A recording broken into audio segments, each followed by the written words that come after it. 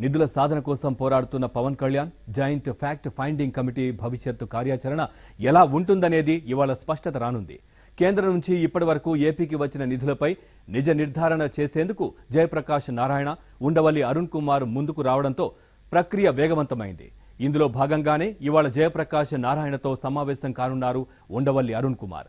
ఈ మధ్యాహ్నం పన్నెండు గంటలకు ఇరువురి నేతలు సమావేశం కానున్నారు.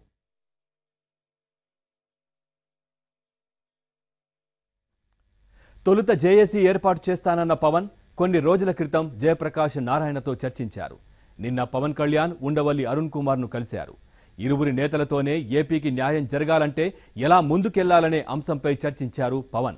ఇరువురి సలహాలు సూచనలు తీసుకున్నారు. జాయింట్ ఫ్యాక్ట్ ఫైండింగ్ కమిటీలో తాను ఉండనన్న పవన్ కమిటీలో ఉండవల్లి జేపీతో పాటు ఆర్థికవేత్తలు మేధావులు నిపుణులు విద్యావేత్తలు స్కాలర్స్ ఉంటారన్నారు.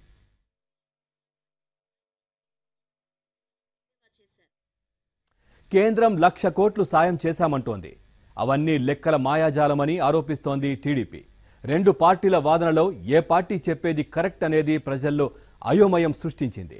బడ్జెట్ కేటాయింపుల్లో రాష్ట్రానికి తీవ్ర అన్యాయం జరిగిందని అంతా ఆరోపిస్తుంటే బీజేపీ అదేమీ లేదంటోంది. మరి ఎవరు చెప్పేది నిజం? ఎవరు చెప్పింది అబద్ధం?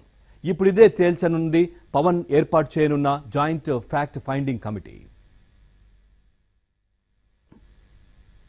జేఎఫ్సీలో ఎవరెవరు ఉండనున్నారనేది ఒకటి రెండు రోజుల్లో ప్రకటిస్తామన్నారు పవన్ కళ్యాణ్. తాను కొందరు పేర్లు సూచించానని ఆల్రెడీ వాళ్ళతో పవన్ కూడా మాట్లాడారని ఉండవల్లి అన్నారు.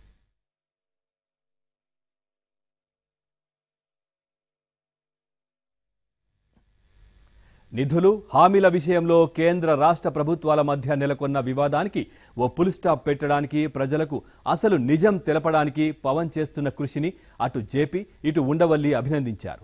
జేఎఫ్సీలో చురుకైన పాత్ర పోషించనున్న ఉండవల్లి జయప్రకాష్ నారాయణ భవిష్యత్ కార్యాచరణపై విస్తృత స్థాయిలో చర్చించనున్నారు.